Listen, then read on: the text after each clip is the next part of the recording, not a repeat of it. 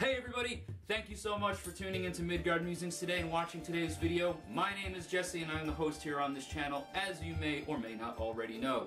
If this is your first time, I appreciate your support. For everybody else who's already supported Midgard Musings through your views, comments, likes, and subscriptions, thank you very much. I want to call to attention the fact that I am actively and aggressively seeking 2,000 subscribers by or before January 1st, 2020. Alright, that means that we need to get at least three new subscribers every day until then, and your help is greatly appreciated. I couldn't do this, well, I could do this if it wasn't for each and every one of you, but it wouldn't be nearly as fun because I would just be talking to nobody.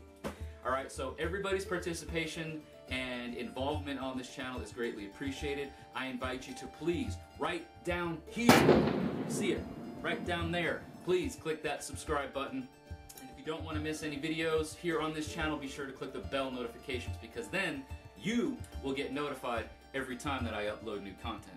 Alright guys, I appreciate everybody's, uh, everybody's support and I look forward to learning new things with each and every one of you about Norse heathenry, Germanic paganism, all that kind of fun stuff. So please, become a subscriber today. That button is right down here. It costs you literally nothing to become a subscriber. And then if you want to be notified. Just click the bell for notifications. It's alright if you don't, but it is appreciated if you do. Check the description down below for all the other ways that you can support Midgard Musings through Facebook, Patreon, Teespring, Redbubble, uh, anything else that you see down there. Click on the links, follow them, see if it's something that fits you. I appreciate all your support. Let's jump in to today's video. Hail and thank you all.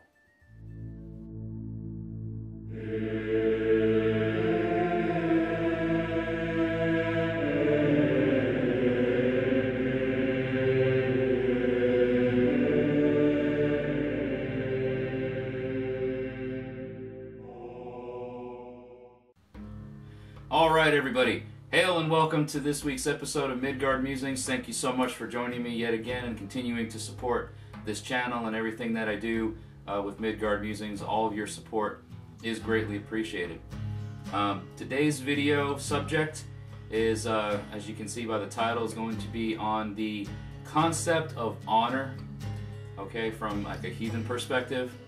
Um, because I've seen the word used a lot. You know, obviously we, we all know what honor means. We're going to get into the definitions of things a little bit.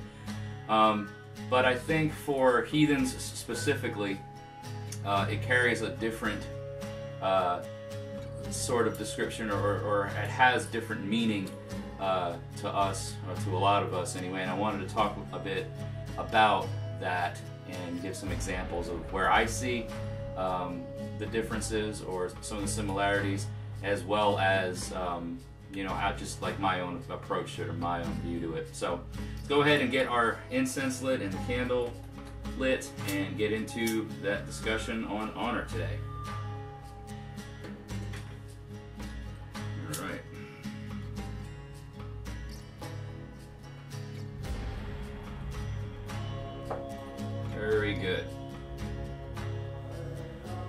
Okay. So, honor. Um, the word honor is used a lot nowadays, especially in the heathen circles and the pagan circles and things. You know, live with honor, be honorable. Um, uh, it's listed, I believe, as one of the nine noble virtues, the NNV, as they're, as they're sometimes shortened to and called. Um, so it generally speaking has a very important role or an important part um, in heathen worldviews and heathen practices, but I want to talk a bit about why and, and what it really truly means from a heathen perspective.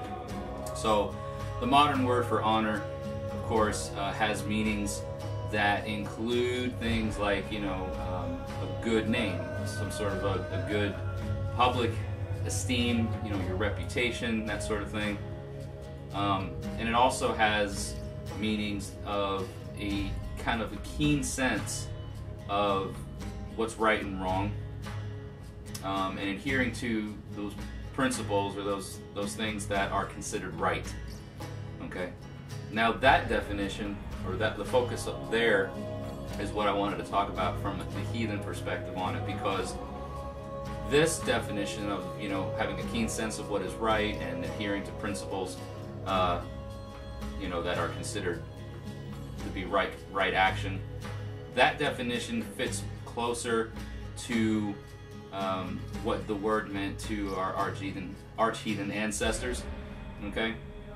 And um, honor was kind of the same thing as, as social status or reputation um, and the perceived power that one had uh, within the community. Um, so in a, in a sense, or if you wanted to like kind of reduce it down to one word, you might could say that it was uh, a person's privilege. You know, what they were uh, privileged to be able to, to do. So you had those in society who were um, with honor and those who were without. Um, it's not something that you can have within yourself. It's something that is given to you by the community, something that is bestowed on you uh, through our deeds and whatnot. We're going to get into the, talking a little bit about that uh, towards the end of the video.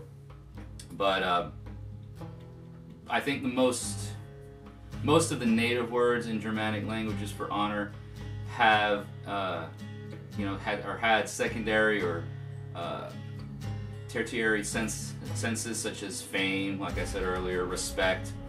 Um, those, those, those just those types of things seem to be more uh, just outgrowths of what the primary meaning of it to be was, you know, the adherence uh, to principles or, or, or things that were considered right. Because naturally, a person who was right and honorable would also have a good reputation and the respect that comes with it because those are the things that they did. So, um, by their deeds and by their actions and by the things that they uh, they carried out, um, they just were they they had a good reputation for that. So this that kind of leads me to the point of how and the perception of what is good or what is right, you know, um, and adhering to principles that are quote unquote right.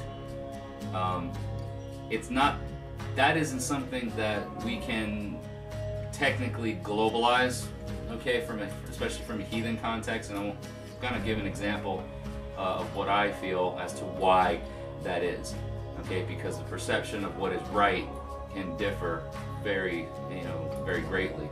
Um, so let's take, for example, that we have a family, um, maybe they're a heathen family, um, you know, so you have a husband, his wife, maybe some kids, and um, just as a hypothetical example, we'll just paint a scenario for you all to kind of picture in your mind.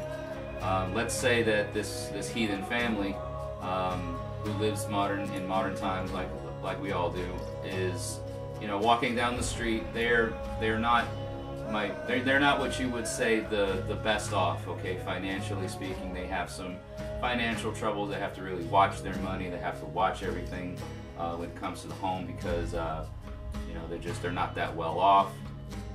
Um, so they're walking down the street doing whatever together as a family, and uh, they come across this homeless person uh, who's begging for money, who needs money themselves, and um, let's say, for example, the, the, the wife of this family, the mother of their children, uh, has sympathy in her heart and feels bad for this homeless person and uh, gives him a few dollars or gives him some money or whatever um, to help him out, to help out this homeless person. Now, for the majority of folks that were to see this situation and not know the, the specifics behind what this family is going through, they would look at this deed that was done and say, wow, what, what, a kind thing, what, a, what an honorable thing to do, to think of somebody else who they don't know and, and give them money that, you know, um, to somebody who they've never met before. And they say, what an honorable thing to do. It's so nice. Um, but the perception uh, of that is askew because we, the, the husband of the family, um, you know, he works very hard for what little money they have and the wife of the family works hard for what little money they have, and they have to really be watchful and careful. And her action of giving this money away uh, to somebody who is outside of that inner circle, outside of that inner guard, outside of that social family construct, it could be damaging the uh, lifestyle of her family and the things that are going on. And the husband is upset that he, that she would do such a thing um, without first talking with him or without first, you know, consulting with him or, or making sure that they could afford to do such. And therefore, that action of hers was not honorable for the family because what she did could be detrimental to their well-being. You know, so the perception of what is right, um, we, we, we can't globalize what is right. What is right from a heathen context, uh, from a heathen perspective, is that which is right for the tribe, that which is right for the community that they are connected to, and those deeds that are done uh, as right deeds, as, as good deeds, as things that will help the, the community, uh, that is what is right. Not just doing for everybody else, even though from an outsider's perspective looking in, she did quote the right thing or she did a right thing. Uh, no, in fact, what she did uh, was not right because it could it, it, could you know potentially harm the the luck of, of her clan and of her family and how the family is involved with their tribe. It could potentially know be damaging to the luck of the tribe, and so it was dishonorable. It was a dishonorable thing for her to do what she did. Um, no matter what the intent behind it was, it was you know she should focus first on her inner circle, her inner yard, her inner yard. Um, and so, just as an example, as, like I just mentioned right then, um, it's it's important to take into consideration the fact that you know that which is right um, does not necessarily mean what everybody else sees as right. It's what is right for the tribe, what is right for that family, that clan, whatever the social construct, whatever you want to call it, it is. Um, so we have to be, we have to take those things into consideration when we're talking about, you know, adhering to principles that are right, like I mentioned in the beginning of the video. So when I say that, you know, what she did uh, could have been a way of not bringing honor to the family, uh, and, and, then by extension to the tribe, uh, we, we need to ask, you know, what does it mean to bring honor to the family, and, and, and what is honor uh, from the heathen perspective? And um, it, it, goes into other things that are very important uh, from a heathen perspective, and that is uh, what is worth what it, what what your worth is, what worth has, what that what the word means. So honor um, or worth, you know, is uh, getting smoked out here by this. In, in my opinion, it's it it's the just esteem in which a person or family uh, or group even is held um, by the community. So the honor of individuals um, these are the things that are like building blocks uh, for the Innangard of, the, of society, the, the, the, the, things that build a strong Innangard, that, that build a strong clan, that build a strong hearth. Um, the honor is those that is are the building blocks of that. So naturally, when when people are honorable and when people, you know, do that which is good, do that which is right, uh, following tribal thew or law, um, society as a whole just tends to function way better, right? It, it, it, makes sense when you have those out there that are doing things unlawful or, or you know, damaging. It, it obviously hurts society as a whole. So looking at this, you know, from a, from a heathen perspective and how the heathens of uh, of old, our, our archie heathen ancestors used to live in the types of societies that they lived in, you know, that honor thing is, is, a, is a big one to keep society flowing uh, in, in, a good way and in a way that is uh, smooth and, and, there's no disruption to things. So, like I mentioned earlier a little bit, you know, honor isn't the thing that's found uh, within us.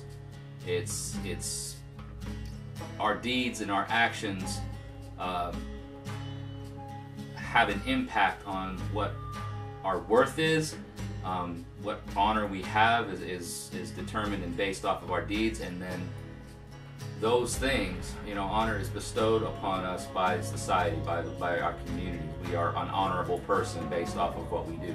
We have worth uh, based off of what we do, or we have less or more uh, depending on all those types of things. So, you know, I think it's it, it has a lot to do with perception and an understanding things. You know, because the society, the way heathen society was back then, is, is of course society now is, is very different, at least in a lot of parts of the world um, that don't have that real tribal view of things. And I know I'm coming at this from a, from a very tribalist approach, or very tribalist view, um, but that just tends to be the, the, model of heathenry that I lean more towards, and it's, and it's where I see heathenry uh, surviving and thriving is at the tribal uh, level. So, however you were to, you know, however, if, if, people watch this and you know you have a kindred or a tribe that you're in or a part of or looking to be part of, how each individual group or collective does their things. There's no one set way um, to for it to be done, but there's plenty of examples, um, uh, you know, throughout history of, of how those societies lived, and we can glean from that, and we can build our own societies off of those concepts. You know, the whole thing with honor and worth, what is right, is you know good. It's not a globalized thing. It has to be something that is looked at from a much smaller level, and uh, with the people who you share your your lives with and in your community with. So that's my take on what honor means. You know, um, my honor is is bestowed upon me by uh, society or by my community based off of what I do. Um, it's not something that I pull out from within myself. It's not something that I just have because